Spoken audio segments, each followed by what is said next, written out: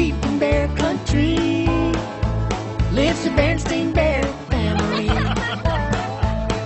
They're kind of furry around the torso.